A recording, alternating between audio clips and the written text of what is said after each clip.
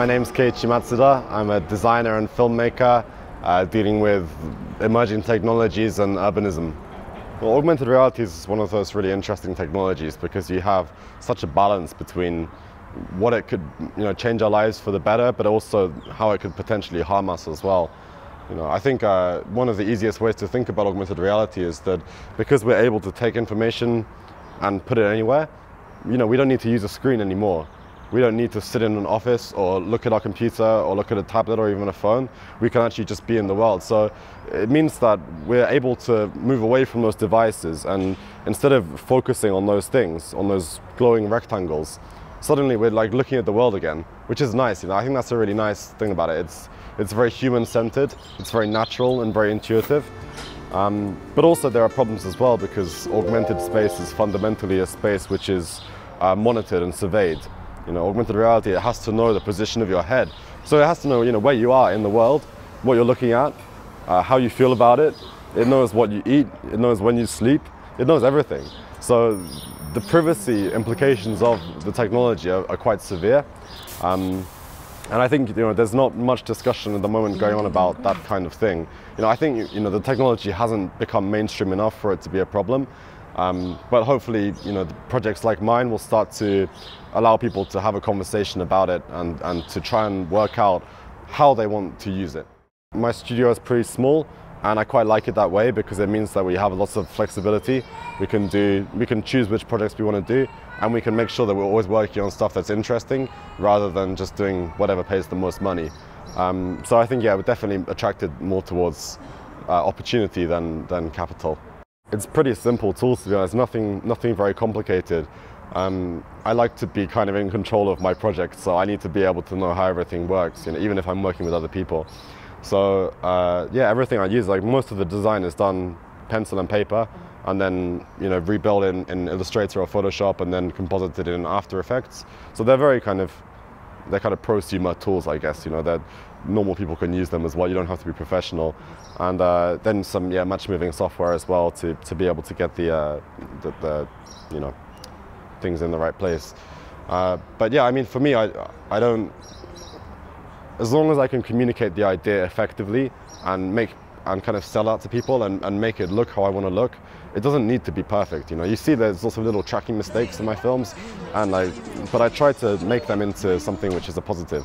So, you know, I was thinking when I couldn't track it properly, I was like, oh no, what should I do? But then I was like, you know what? You know, in the future, the glasses are not going to be able to track it properly either. They're going to have problems, the same problems that I'm having. So I made it into more of a feature and, and tried to highlight the problems with it. Um, so yeah, it's, it's not that hard. And I think if you have the idea and you have a kind of aesthetic sense, then anybody can do that. What's very difficult to represent visually is this idea of subjective space. So that's a space where you know, you and I are in, in the same physical location, but the world that we see through our device can be completely different. And that's a really important uh, quality of augmented reality that you know everybody can see something different. Everybody can use the space in a different way. But obviously, if you look into a movie or something, you only have one perspective. You know, the perspective of the camera. So to make things easy, you just have everyone. Okay, everyone can see the same thing. You know, that's the easiest way. But uh, I think that the way we use uh, technology at the moment, you know, personal devices like you know, uh, uh tablets and smartphones and, and uh, laptops, we're all using them in different ways and we're all customizing those things as well. So there are kind of private space at the moment. You know, those interfaces, those customized interfaces and, and uh, desktops and uh, you know what apps you're downloading onto your phone, they say something about you. That's your private area, you know. So I think uh, I think augmented reality will definitely shift in this direction where it will start to become adapted to who's using it and you'll learn how to use augmented reality, but also augmented reality is going to learn something about you. The user interface that I was looking at was basically gesture controlled. And the nice thing about gesture controlled interfaces is that everybody gets it. You know, you can watch the film, and my films are only like a couple of minutes long, you know? So I don't have time to explain a really complex idea. All I can do is, is you know, show something simple. But gesture's nice because I do this and something appears and everyone knows that I made this action. But really, the gesture that I showed is kind of, it's kind of a joke. I don't know, like going around the city, like waving your arms about is not a very efficient way to do it. You know, you can have something much simpler, like just subtle movement of your fingertips, You know, just uh, this is a click and this is a, a swipe or whatever, and you can just do that done by your side. You know, this is this is a much simpler way to do it. That's fine and you know good and just as, as you know. So I think the interface work in the films was more of a communication tool to allow people to understand the concepts. I don't think it's really going to be like that. Um, and you know, I don't think it's going to be so like window-based either. Well, in terms of the possibility of, of the actual technology itself, not so far, you know, maybe even a couple of years.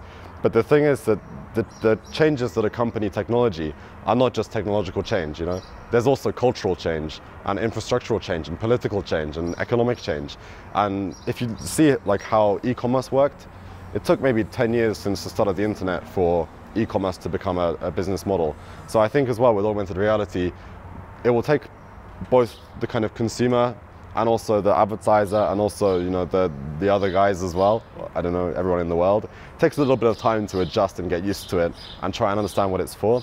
Um, so probably the world that you see in the films that i made we're never going to see that probably. It's just a it's just an example. It's like it could be this. What do you think? You know then we can have a conversation.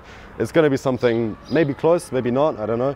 But uh, I think, yeah, we're realistically maybe like five, ten years, we'll, we can be expecting to wear this kind of thing. And I mean everybody, like, you know, you can go out and buy a pair of Google glasses probably next year or the year after, but, you know, no one's going to be wearing that for a couple of years, right? It's, it, it's only like real enthusiasts who are going to be doing that at the beginning. Yeah, I mean, it's like, you remember when people started having mobile phones? You know, mobile phones are an easy technology. We, we understand what it is already because we're used to having phones at home. But, you know, the first people to get mobile phones was just like uh, some explorers going out into the desert or something, right? And they needed it. And then you had, you know, people who are really interested in technology, and you had really rich people, and then you had really busy people, like, you know, businessmen, things like that. And then finally, now, you know, like five-year-old kids have got them. You know? I don't know about that, but yeah. So I think it trickles down it, it, moves in different ways. I did in collaboration with a guy called James Alliban, who's an uh, interaction designer and artist. Uh, we did a built an installation together in October last year called Cell, which is looking at this idea of the uh, the digital aura, this kind of uh, cloud of kind of keywords and tags floating around you. And so the installation uh, is built using Kinect, so as you walk around this space, all these kind of keywords track and follow you and, and come down and build this idea of an identity. Uh, but I'm also currently working on another project uh, which is to be launched in September, which is also looking at how we can try and, I think all of my work is about how to uh, connect the virtual and the physical. And sometimes those areas touch and you get something interesting happening and sometimes they touch and you have some problem happening. So always, you know, we have, if you imagine them as two layers, the, the physical and the virtual, you know, my, my job is existing in the middle here.